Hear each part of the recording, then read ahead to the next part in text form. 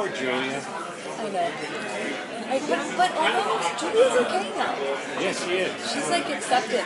She's accepted everything. and She seems to be doing really well. Poor Stella.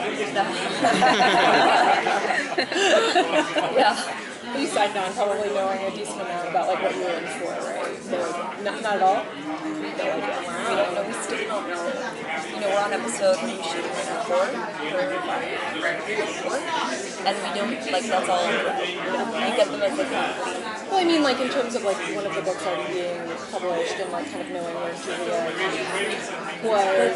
Like the show Changed, it's much changed What were you told it was going to be different? Like Not in the beginning. We thought we were of So where do we find uh, Julia now? Um, Julia is. We all start the season as not ourselves. Um, we get to see a lot of Julia Dean's off, uh, and sort of like in the linear timelines of what her life would have been like had she did go the route of Great Girls and that whole story arc, which is kind of interesting. It's only like a little too little of it, but you kind of get like enveloped in these other worlds for which is nice. Um, and everybody is sort of trying to bring that magic for like for the universal purposes, not not for for goddess power necessarily, but just for everyone. So everyone can kind of share this thing and it's not being held by the library, which. Do you think Julia is going to regret giving up her goddess powers to help her friends, considering how much good she was doing with them? No, so far she hasn't, which is really cool and admirable. Like I admire her for that, that she's able to kind of like let it go and be okay and like give up this thing save everyone that she loves. You know, have the mentality of I, I'm an endless source of power and I don't need this to be great. I'm sure it's frustrating, like on a trivial in a trivial way of like god damn it like i i i could be able to do all these like these things and this useful like i'm this useful source but yet like my you know my battery's out. So i think like as far as that works like the brain part of that is frustrating but i don't think that she emotionally is at all burdened by it and like estella and like what like you gave up being a goddess or you nuts like you know and she's awesome good for her I think. I enjoyed Quentin and Julia kind of working as a team. They're my favorite. He's my favorite. That was a really good arc. I have such an affinity towards that. I love him. He's so good. He's one of my best friends. And he's like such a good husband and such a good such a good partner, you know, like we have a blast. We didn't get to start working together this season until episode three. But um we like find each other again where it's like nothing ever changed. I'm always like root secretly rooting for Julie and Quentin like want to work together. I don't think it'll ever happen. But you never know. You never know. no, I never given up guessing anything on the show. It's just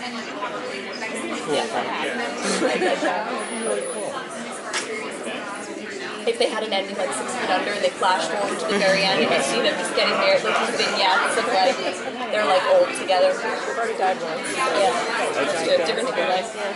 Yeah. So obviously everybody's kind of uh, tight-lipped about where they're going with the character. If you could choose where your character was going this this next season, if you were writing it, where where would you take her? I would have taken her last season. I would have spent the entire season being me and Goth. I would have loved to have done that. She was Goth and works and didn't talk at all. Yeah. talk to people. As an actress, like how cool would that be to literally not have a single piece of dialogue but do everything like with your face, with your face, with your body, with just like your energy. man, Daniel Day, man, you know. Um, so I would have done that season two, and then this, you know, or this for season three. Yeah, that would have been season two, three, season two, three, and then I would have had her become a goddess. And like, I, if I were writing it, I'd like to be in Fillory, talking to birds, and have a bird as like a friend, and I would just be like in it. Like, you know, Lady Gaga, horror story vibe, like just, you know, wild. It's a great, great touchstone to, to? So Senator Filler was his government. I just want to be in Fillory. I'm done being a street person. It's enough. I grew up in New York. I'm tired. Like, take me to the magical forest, please. The animals and the mushrooms. Let's go. If you'd been able to vote in Fillory's election, who would you have voted for and why? Who was running? Um, Eliot was running, and then um, that Tony. Tick? Yes, Tick was running. Tick the And then they did a write-in. Gosh, who would Including writers. Yeah, I know that's why that's what got me thinking. Right. I was like, wait. I like I wish Esme played. She played Wine and Lemon. Um, it would have been nice to have her. I don't know. That's so hard. I don't know because everyone's done such a bad job of Fillory. It's like the hierarchy is not.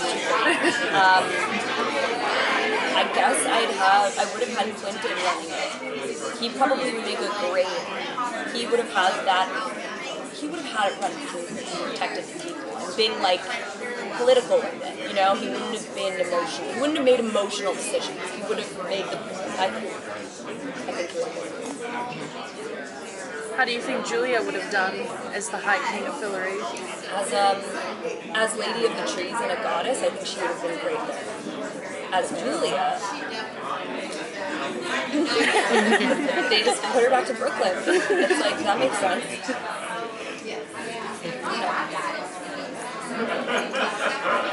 What was, one of your, what was your favorite episode of last season?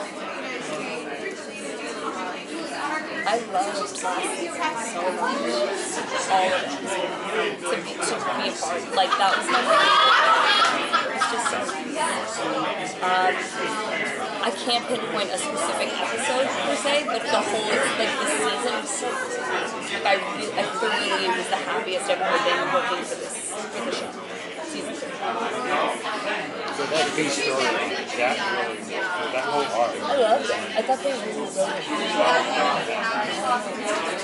all, all, all the moving pieces there, there was there was a goal and there was Yes. a storyline and you were doing something and, and, and, and that's what it should be. You're, your way towards something or you're letting up the story unfold. It constructed. And all the colors you can Oh, thanks. I'd like to. Thank you. She's not favorite. That's nice to No, no, no, I- something about it. I like her too. She's cool. She's had it rough. You get it. You get I get- I it. I'm from New York too. It's good. Yeah. She, Julie's from New York too. Yeah, I know. Yeah, you know. Julia went from being really tough to being an earthy goddess. How was that playing that role over the course of the um, of the entire season? Um, she was really kind of hard for a while, and then she got soft. I don't know where she is now. And I don't know, like, I don't, oh God, it's hard to judge it. It's like, where is she now and how was that? I think I was just in it. I don't know how they, I think they, wrote- you know, they wrote for it, right? But she just became less angry with it too. She kind of let go of a lot of it. And that made, made it easier to transition into something that's like, but now, like, I don't know what she is. Like, that's a, that's a good question to think about for me. Like, I have no idea. Like, where, if somebody were to ask me something more, like, where is she at now? Like, She's go. She hasn't let go of it, but she's accepted, yeah. Yeah.